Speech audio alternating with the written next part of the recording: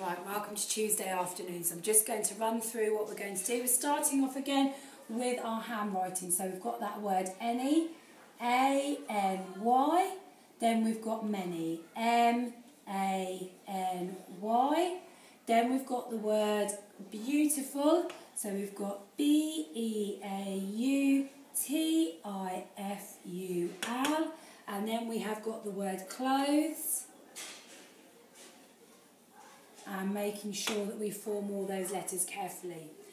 Now today we're going to, count, oh we've got our comprehension first for our In the Wild Woods, our book by Simon James. So we've got that story and today our comprehension it says, what would you like to know about the squirrel? So what I'd like you to do today is you are going to be writing some questions. So if you were to meet Jess, what might you ask her about the squirrel? So you're thinking about some questions. They will have a question mark at the end and you might be using word like what? What does the squirrel like to eat? Where did the squirrel sleep? Why did you want a squirrel?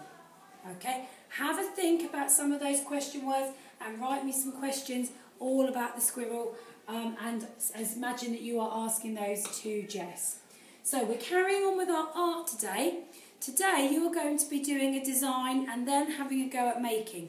I will put on the website the link for the Gaudi video so that you can have a look to remind yourself about the Gaudi things. Um, and there also will be the PowerPoint on there so you can have a look through again at that information about Gaudi. Now today what I want you to do is design a Gaudi style building. Now remember the most important things about Gaudi's work, he used lots of colour and he also didn't use many straight lines. He sort of had lots of bendy lines. So what you're going to do is you're going to design a building and you've got to think about this Gaudi type style. So you might want to do sort of some a tower where you've got some bendy, maybe you've got some bendy walls on it, because we're not going to be making it 3D, we're making something flat. So have a think about how you want your building to look. I'm just trying to think how I could do the building in the middle. I might do another wavy line. And then, oh, I think my roof, I might sort of give it a double roof there. It looks a bit strange. So have a go at designing your building. Do think about the colours because you will be painting these later on and what you need to do is try to keep them simple. If you put too much detail on them, when you come to make them, you will find it a little bit tricky. So do your design and then today we are also going to have a go at making our tile. So what you'll need to do if you've got clay or Play-Doh or if you're making salt dough, you need to roll it out. Now you might want your tile to be a square or an oblong shape. You could make it a round tile, it's completely up to you. But you'll need to roll it out so you've got a flat surface to work on and then use some tools to make, to scrape the image into the top of the material you're working in.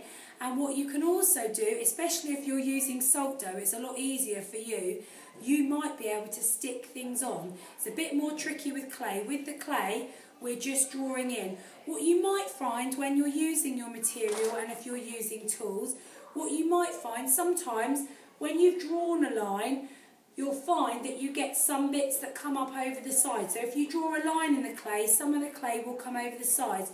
What you will need to do, just get your finger a little bit wet and run it down the clay just to smooth those bits off or take them off. Otherwise, when they dry, it will look a bit strange. But what you're doing today is making your image, creating that in the top of your clay. So it doesn't matter what shape your tile is. I've done sort of a square, a bit more of an oblong. And then you can draw in, and then you've got to make this image on your clay or your salt dough. Okay, that's your art for today. And then your PE for today, we are going to be using our throwing skills to see if we can do some aiming. You could make a target like this. You could set some targets out. Maybe if you've got some hoops, you could set them out at different distances or you might have hoops of different sizes.